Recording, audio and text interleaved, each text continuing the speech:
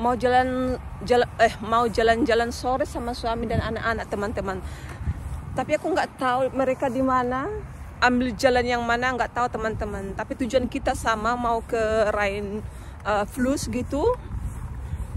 Aku tadi memang belakangan ya karena nutup pintu sama uh, aku pakai kaos kaki dulu karena kaos kaki aku terlalu tipis jadi aku pakai dua gitu. Udah sampai aku tutup pintu turun ke bawah eh mereka nggak ada. Aku tunggu-tunggu di sini. Nggak lihat-lihat juga teman-teman. Ke mana mereka ya? Duh nggak tahu deh. Masa nggak nampak? Sebenarnya males keluar hari ini karena tadi malam ada tamu keponakan suami datang. Jadi kita tidur hampir setengah 12 gitu aku kan susah tidur teman-teman. Jadi pagi-paginya itu aduh kayak capek gitu. Mata kayak sembab gitu teman-teman ya.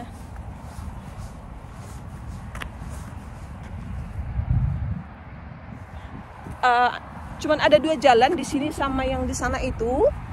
Uh, di situ kan uh, jalannya panjang bisa terlihat kalau mereka lewat situ. Tapi ini nggak kelihatan teman-teman.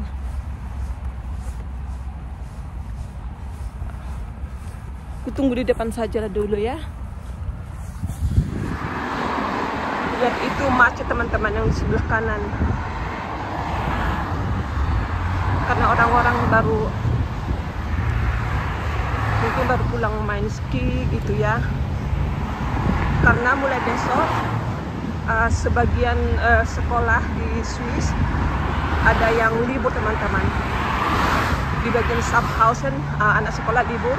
Tapi anak-anak aku di bagian uh, apa ini uh, aduh pokoknya anak-anakku besok uh, tidak ada nggak usah aku sebutkan di mana ya? Untuk keselamatan bersama. Akhirnya ketemu uh, suami dan anak-anak di sini teman-teman. Di tempat tujuan di Rhine Fluss ini di Sungai Rhine. Ayo sayang ayo.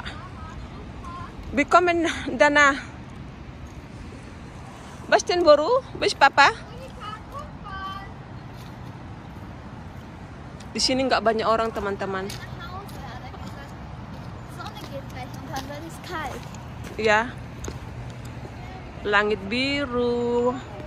Cuaca hari ini bagus teman-teman. Jadi banyak orang yang keluar jalan-jalan gitu ya. Ayo, ayo. Paset papa gesak baru? Mihael ketemu batu ini katanya berharga nggak tahu dah disuruh aku pegang ini teman-teman. Dibawa ke rumah katanya. Dia mau cek ini batu karena dia punya apa itu? Kayak teropong di rumah nggak tahu deh. Berat aduh. Bastin baru. Niscunah dot Oh itu ada pesawat teman-teman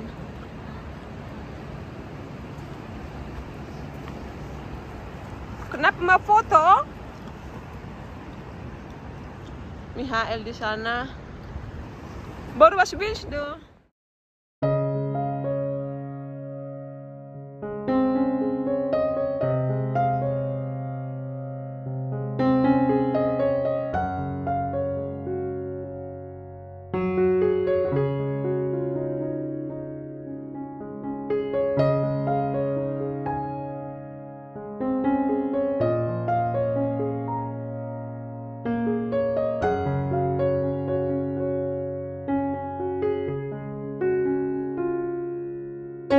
Miguel, was ist mit Steine hier? Sollen wir das weg hier lassen?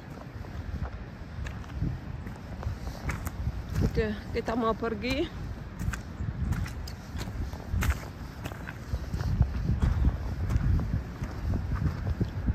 Kadang uh, kita juga datang ke sini waktu musim panas itu naik sepeda teman-teman.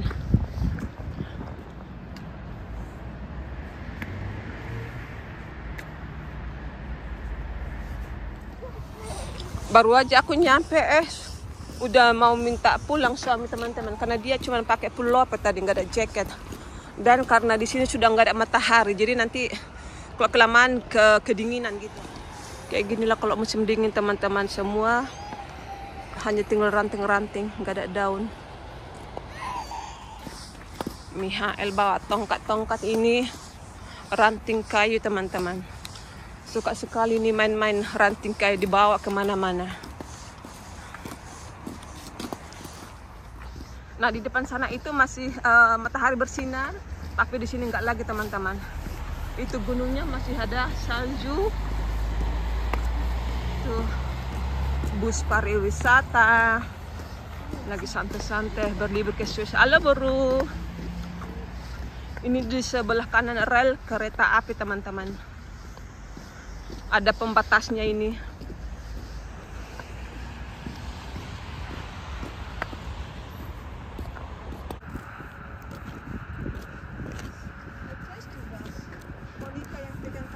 Wir gehen jetzt Hause, teman-teman. We going at home, teman-teman.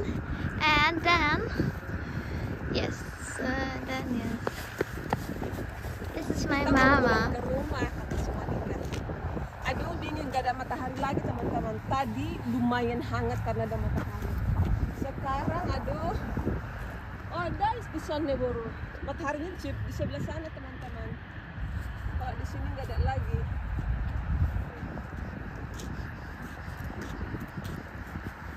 This is our home.